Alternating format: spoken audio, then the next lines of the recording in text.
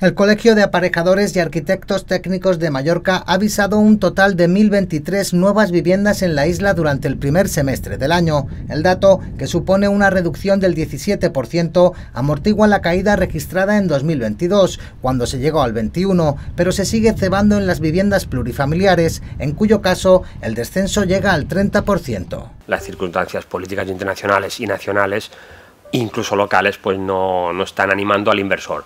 La guerra en Ucrania, el incremento de costes, la subida de tipos en las hipotecas o el periodo electoral que vivimos actualmente hacen todavía más inhabitable el mercado de la vivienda, una complicada situación ante la que los aparejadores exigen medidas que ellos califican como valientes al nuevo Ejecutivo Autonómico.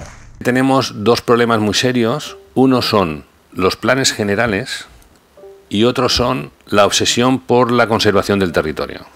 Estos dos problemas eh, tenemos que dar pasos adelante o no vamos a resolver el problema de la vivienda. Lo que tiene que imponerse en el mercado es más suelo.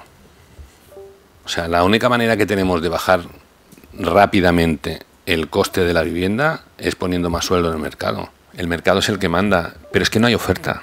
A esta falta de suelo disponible se le une otro de los problemas endémicos del archipiélago, la falta de personal cualificado. Es fácil encontrar peones, un momento dado, pero es muy difícil encontrar oficiales instaladores, oficiales de, los gremios que requieren una cierta capacitación. Así las cosas, la incertidumbre es la constante dentro de un sector que espera recuperar el ritmo a lo largo del segundo semestre. Hasta que no hayan pasado las elecciones nacionales y se empiecen a, a poner en funcionamiento el Gobierno Balear, el Consejo de Mallorca, realmente esto es una, es una lotería. La semana que viene y precisamente con la intención de activar toda esta maquinaria administrativa, el Colegio de Aparejadores tiene previsto reunirse con la nueva presidenta del Gobierno, la popular Marga Proens.